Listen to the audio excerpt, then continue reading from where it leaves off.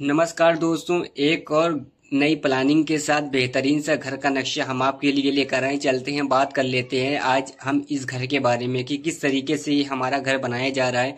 और वीडियो के लास्ट में हम इसमें ये भी जानेंगे कि इसमें हमारा अब तक कितना खर्च आया है छत ढलाई से पहले तक का टोटल खर्च कितना आया है।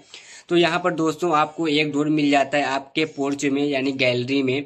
तो यहाँ पर आपका जो डोर है, ये हमने एक डोर अपने घर से यानी अंदर से दिया है, पोर्च से दिया है और एक डोर हमने बाहर से दिया है, देख सकते हैं।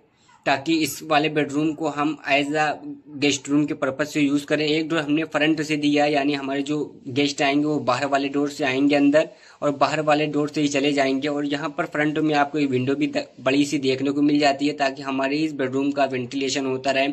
और इसी बेडरूम में दोस्तों हमारा सेप्टिक टैंक भी बना हुआ है, देख सकते हैं, ये हमारा सेप्टिक टैंक बना हुआ है, यानी जो आपका लेटरिन बाथरूम बाथरूम का गड्ढा होगा तो उसका यहाँ पर सेप्टिक टैंक को बना, बनाया गया है। तो यहाँ पर दोस्तों आपका ये फ़र्स्ट बेडरूम हो गया। उसके बाद इस फ़र्स्ट बेडरूम से हम आगे बढ़ते हैं। तो यहाँ पर देख सकते हैं, आपको मिल जाता है सिटिंग हॉल यहाँ पर आप अपना सोफा वगैरह लगा सकते हैं सिटिंग के पर्पज से। और इसी सिटिंग हॉल में एक तरफ़ एक तरफ़ हमने ओपन किचन बनवाया है। यहाँ पर देख सकते हैं, आपको ओपन किचन मिल जाता है। सात फीट बाई आठ फीट में यहाँ पर आपका टू फीट प्लेटफॉर्म की विर्तों का यहाँ पर आपको ओपन किचन देखने को मिल जाता है। और ऊपर की तरफ़ भी कुछ पार्ट पार्टीशन दे दिया गया है ताकि कम पैसों में यह हमारा घर एक अच्छा और खूबसूरत सा बन सके, कम खर्च और लागत के साथ। तो यहाँ पर देख सकते हैं दोस्तों, आपको ओपन किचन देखने को मिल जाता है। सात फीट बाई आठ फीट का यहाँ पर आपका ओपन किचन हो जाएगा। एल शेप वाला आपको ओपन किचन देखने को मिल जा मिल जाता है एल टाइप से। यहाँ पर आपका प्लेटफॉर्म बनाया गया है। और उसके बाद यहाँ पर आप दोस्तों अपना किचन के लिए डाइनिंग एरिया कर सकते हैं इस वाली जगह पर, या आप इस वाली जगह को एज आ सिटिंग के पर्पज से यूज़ कर सकते हैं। आप इसको लॉबी एरिया भी बोल सकते हैं। आप चाहे तो इस वाली जगह को सिटिंग के पर्पज से या डाइनिंग एरिया के पर्पज से यूज़ कर सकते हैं। तो यहाँ पर आपका ओपन किचन है और यहाँ पर किचन के लिए आपका डाइनिंग एरिया भी आप चाहेंगे तो आपका डाइनिंग एरिया हो जाएगा।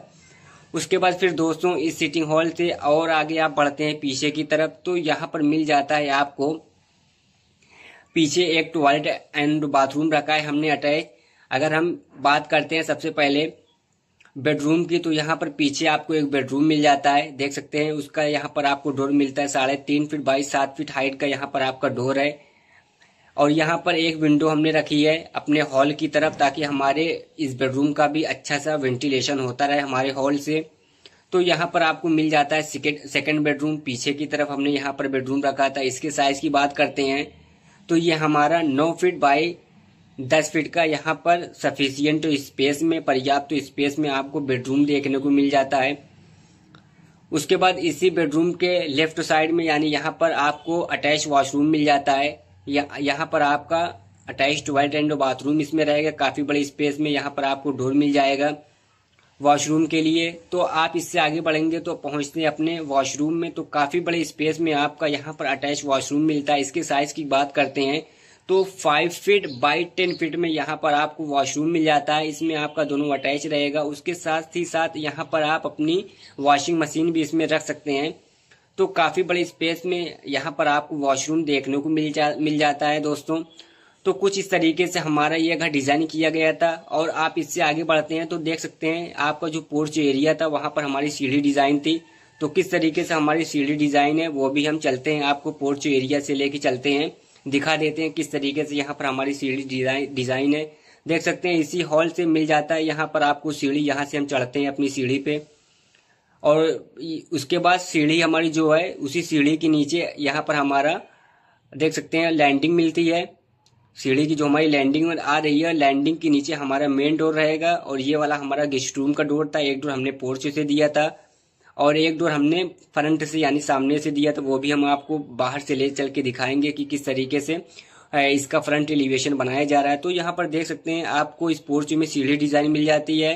और यहाँ पर आपको ये मेन डोर आपका है गेट यहाँ पर आप अपना गेट लगा सकते हैं या चाहे तो आप डबल इंट्री का डोर भी लगा सकते हैं। तो इससे हम बाहर चलते हैं, देख लेते हैं किस तरीके से हमारी ये फ्रंट की डिज़ाइन है। देख सकते हैं दोस्तों, यहाँ पर आपका गेट लग जाएगा। डबल डबल इंट्री का डोर यहाँ पर आप लगा सकते हैं।